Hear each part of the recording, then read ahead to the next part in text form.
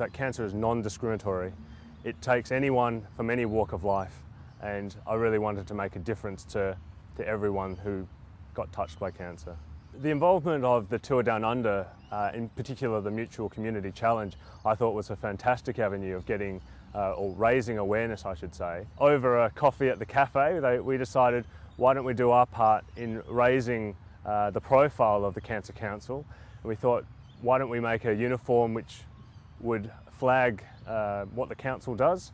In terms of preparation for uh, the Tour Down Under ride, I think one of the key things is, um, particularly in the team that we're with, we, we just go out for fun. Uh, it's, it's, although there is the friendly competitive side to it, uh, certainly we don't uh, you know, take it too, we don't take ourselves too seriously. For those who were questioning whether or not they get involved or whether or not they'll be able to last the distance, we've seen uh, you know 80-year-old grandmothers going out for the ride, and you know that's promising.